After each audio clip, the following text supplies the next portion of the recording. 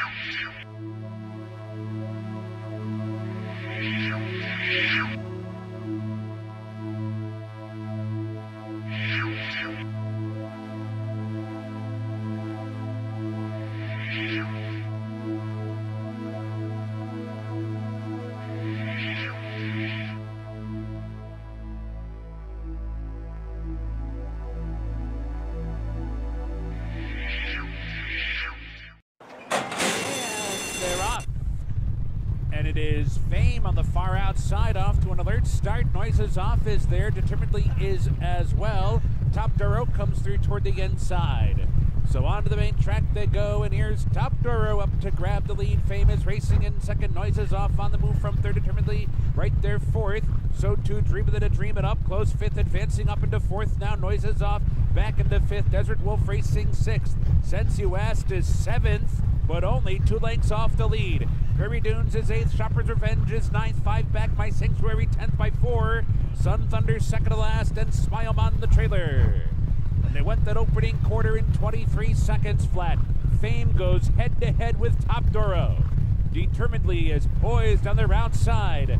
Three wide and right there third, and now starting to come on. Here comes Determinedly looking for the lead, and he grabs it right outside the quarter pole. Determinedly to the front.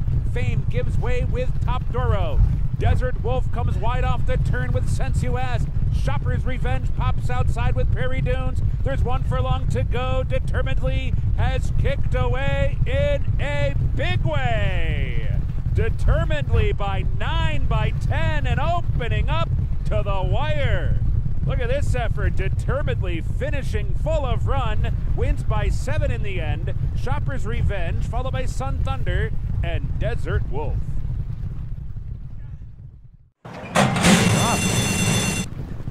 Seas of Normandy broke well, so did the Heights and Miller's Right. My Spirit's on the move. In the center is Profound Impact.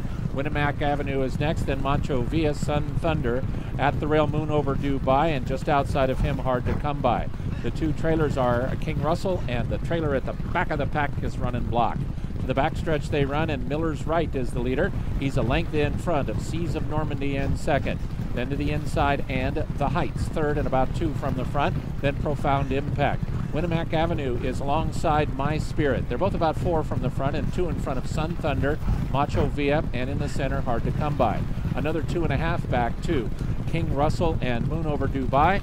The trailer is still running block midway on the backstretch, finish line 16th pole, and Miller's Right is getting there first.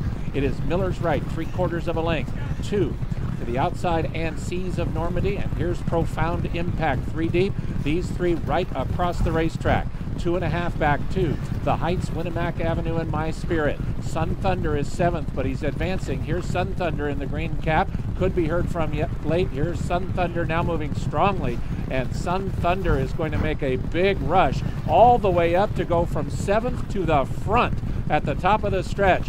A monster move from Sun Thunder, who suddenly lands three lengths in front. The Heights has moved up on the outside. Then comes Seas of Normandy, but it's Sun Thunder, and he is dominating. Sun Thunder, the Heights, King Russell up into second now. Sun Thunder in front. Big win for Sun Thunder. He won by seven. King Russell was second, Seas of Normandy third. Close for fourth between Winnemac Avenue and Miller's Right. They're off. Arabian Knight could not have broken any better. Right to the front from a hard scent, Frosted Departure. And Frosted Departure is going to make the favorite work early. Arabian Knight leads the length. Frosted Departure is second, El Tomate away in third. Then Corona Bolt and stablemate Jace's Road. They both have about four lengths to make up. Western Gent and Sun Thunder are next, and the trailer is Red Route 1 as they turn into the backstretch in the 58th running of the Southwest Stakes, and Arabian Knight is strong. He leads by a length and a half from Frosted Departure, who did everything he could do to press this front running favorite, but now he'll have to sit second, two lengths behind Arabian Knight and John Velazquez. El Tomate to the outside is third. Corona Bolt rides the rail for Flavien Prat. He's fourth and two and a half lengths off the lead. Then Sun Thunder, a three wide Jace's Road, and Western Gent between horses. 10 lengths last. Two, Red Route 1, three furlongs to go in the southwest. Arabian Knight has the lead. He is a length and a half in front of Frosted Departure in second. Now to the outside. Here's Jace's Road to put in a nice run. And Jace's Road is within two lengths of the lead. Corona Bolt has dropped back. Sun Thunder has five to make up. Arabian Knight and Frosted Departure 1 2. Jace's Road has flattened out. So Arabian Knight and Frosted Departure are the two off the top of the turn. Arabian Knight a length in front of Frosted Departure in second. Here is Red Route 1 erupting from the back of the pack, but he is still six lengths behind his front running favorite, Arabian Knight. And now he's four in front. Red Route 1 might get second. He will not win the Southwest.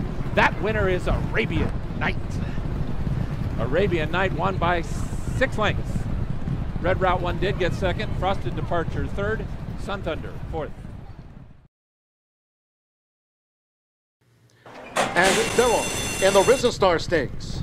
Shaq Diesel going out toward the lead. Here's Determinedly Speed. Right there is Harlocap along with Victory Formation. And Private Creed also comes up on the outside.